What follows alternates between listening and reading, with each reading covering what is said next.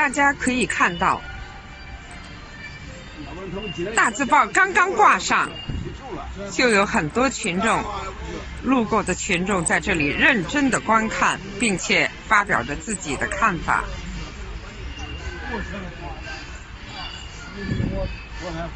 这张大字报的标题是“文革注定是人类文明之灯塔”。不主动接受，那就被动承受。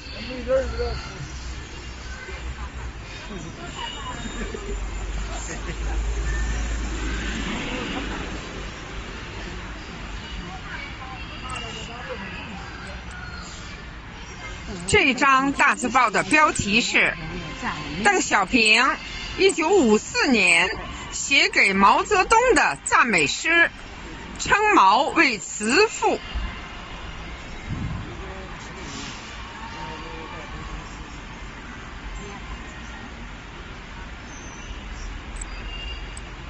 这张大字报写的是毛主席有多么仁慈。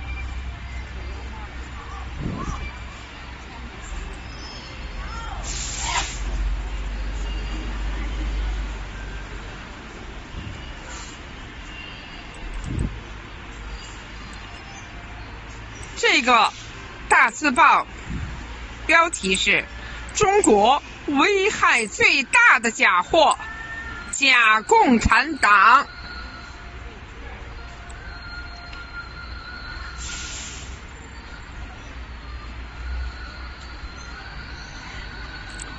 这张大字报标题是“从毛主席向尼克松开出的价码”。我们应该向毛主席学习什么？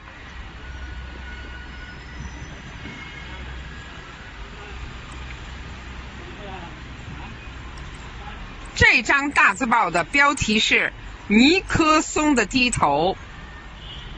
中国用抗美援朝这场战争，证明了新中国不但是大国，而且是强国。抗美援朝结束了美国对中国的武力讹诈，但还不足以让他低头。那么，让美国人低头的是什么呢？可以确切的说，是中国的红色文化和国力的飞速增长。那么，当时的新中国在世界上别的国家百姓眼里是什么样的呢？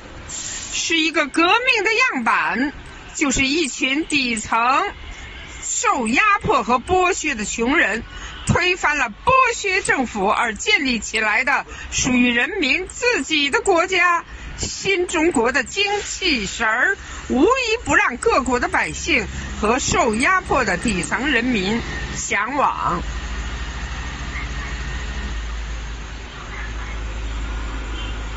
这张大字报的标题是：一定要把文革的真相告诉同学们。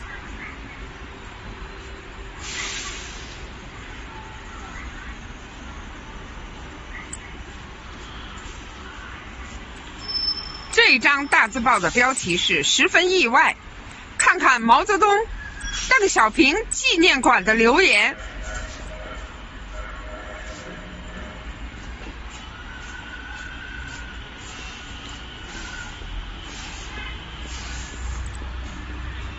这张大字报的标题是：郑州红色网友举办魏巍同志著作赠阅活动。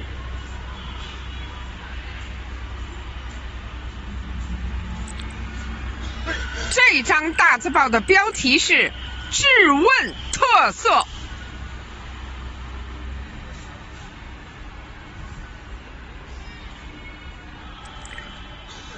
这张大字报的标题是：当前国家最头疼的十三件大事。